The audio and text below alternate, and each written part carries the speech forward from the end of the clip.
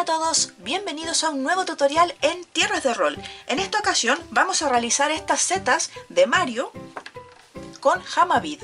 ¿Qué son los Hamavid? Los Hamavid son una especie de avalorios como unos tubitos de plásticos que son muy sensibles al calor, entonces se derriten o se funden muy fácilmente.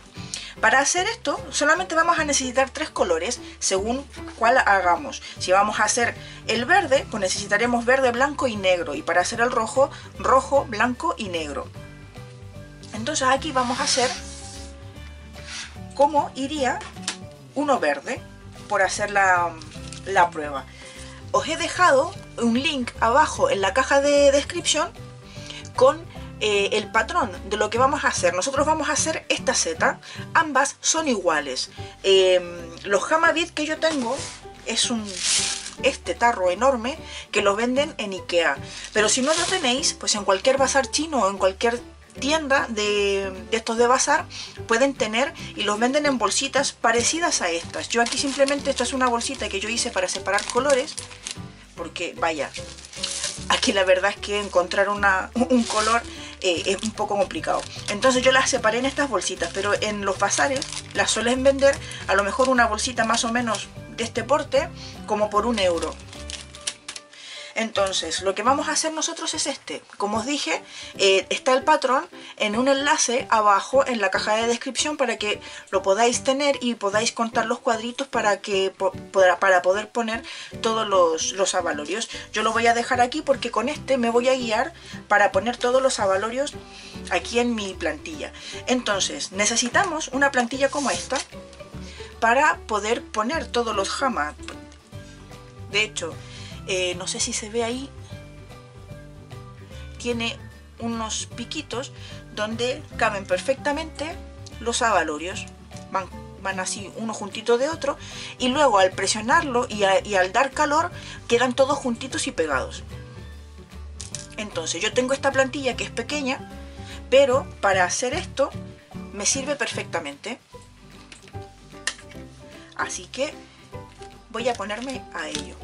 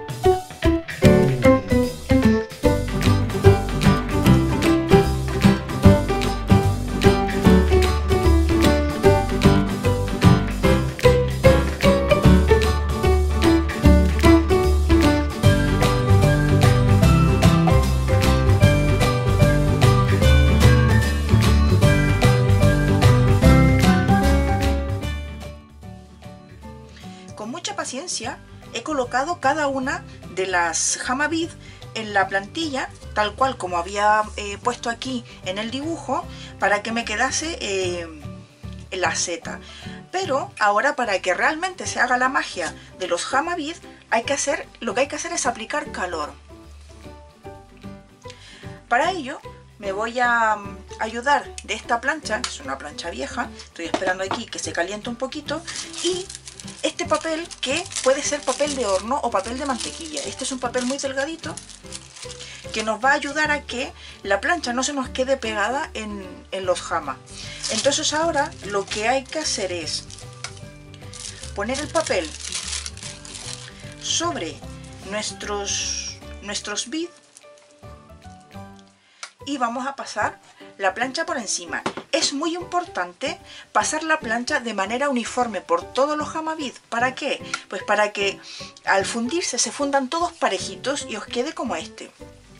Este por ejemplo, bueno este me quedó muy muy delgadito pero porque así lo quise yo para que me quedase en forma de pixel y no en forma de, jama. Por ejemplo este tiene aquí que se, se notan todos los, los jamas pero este no.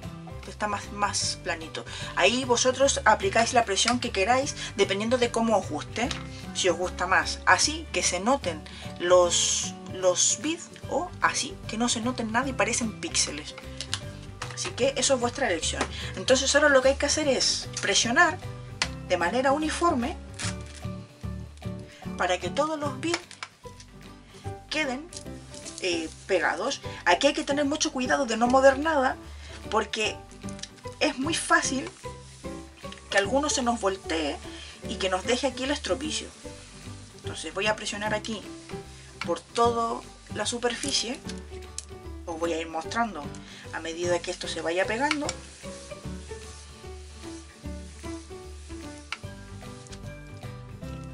De esta manera, al fundirse el plástico, se van pegando junto a los otros. Ver cómo va quedando.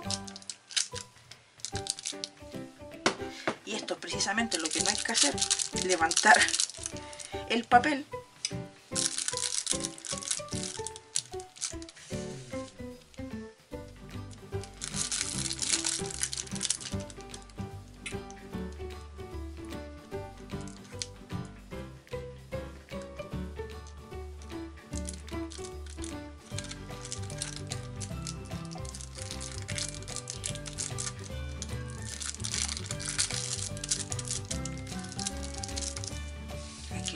arreglado, pero menos mal que me pasó a mí para que sepáis lo que vosotros no os tiene que pasar.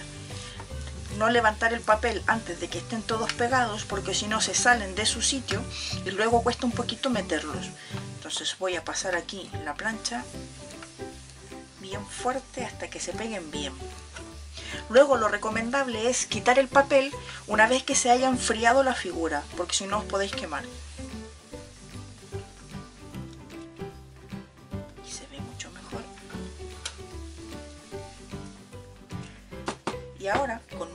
Lo que voy a hacer es bueno, coger la figura darle la vuelta, ponerla sobre la mesa y retirar aquí la plantilla.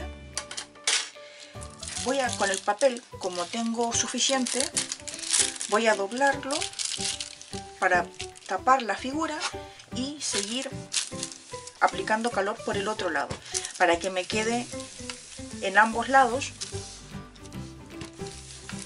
eh, planito por igual y no se me combe. Yo lo que voy a hacer es dejarla como este, que este es, es planito y está todo pegado. Pero como os dije antes, vosotros podéis dejarlo como más os guste. Si queréis aplicarle poco calor para que queden los bits que se noten, pues lo dejáis así y si no, pues aplicáis más calor hasta que quede todo fundido. Os voy dando vuelta para aplicar calor en ambos lados de manera uniforme.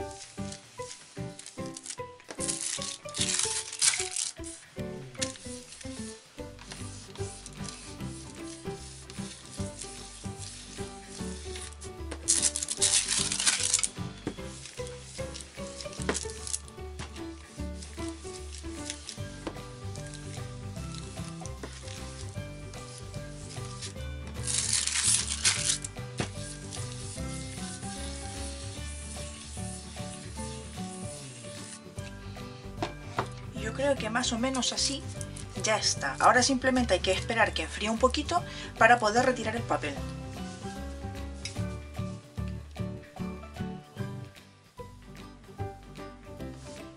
Una vez frío, lo único que tenemos que hacer es con mucho cuidado para no romper el papel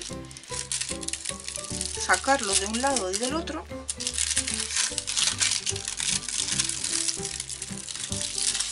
y ya quedaría listo para usar. Aquí tendríamos nuestra seta como esta o como esta o como esta o como esta o como esta o como esta. Yo tengo varias porque a mí se me ocurrió algo muy divertido que hacer con ellas más que tenerlas de adorno. Y es hacer un juego de mesa con ella. Un juego de mesa muy sencillo que incluso ni siquiera es de mesa porque a veces simplemente rayamos un cuadro y nos ponemos a poner cruces y círculos. Efectivamente me refiero al 3 en raya así que os voy a dar una, una manera muy sencilla de poder jugar a esto. Simplemente con un trozo de cartulina me voy a alejar un poquito aquí. Dejo aquí un trozo de cartulina de 27 por 27 centímetros, al cual en cada uno de los lados he marcado a 9 y a 18, o sea, he hecho marcas cada 9 centímetros. ¿Para qué? Pues para hacer una matriz y con la cual vamos a poder jugar al 3 en raya. Entonces, simplemente una cartulina cualquiera o un trozo de cartón que tengáis que no vais a usar, hacéis marcas cada 9 centímetros para hacer 9 cuadrados en nuestra cartulina. Entonces, recapitulando, una cartulina de 27 por 27, vamos a hacer marcas cada 9 centímetros en todos los lados y con un rotulador y una regla vamos a unir todos esos puntos para hacer nuestra, nuestro tablero de 3 en raya. Entonces voy allá, que ya tengo las marcas listas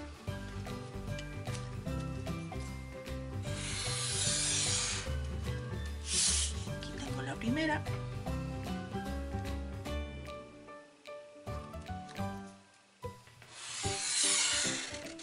La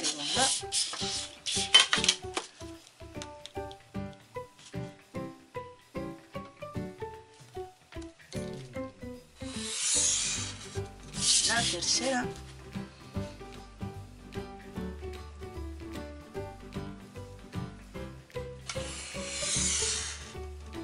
la cuarta. Y aquí tendríamos nuestro tablero de tres en raya o gato, como le dicen en otras partes del mundo. Y nosotros tendríamos así, con muy pocos materiales y de manera muy divertida, un bonito juego de mesa y práctico y podemos jugar con nuestros amigos. Ahora, si no estamos jugando con nuestros amigos, pues tenemos muchos posavasos donde podremos poner aquí y nuestro refresco. Así que nada, espero que te haya servido este tutorial, que te sea útil y sobre todo que te haya divertido. Así que muchas gracias por tu like, muchas gracias por suscribiros y muchas gracias por compartir este vídeo. Nosotros nos vemos en el próximo tutorial. Chao, chao.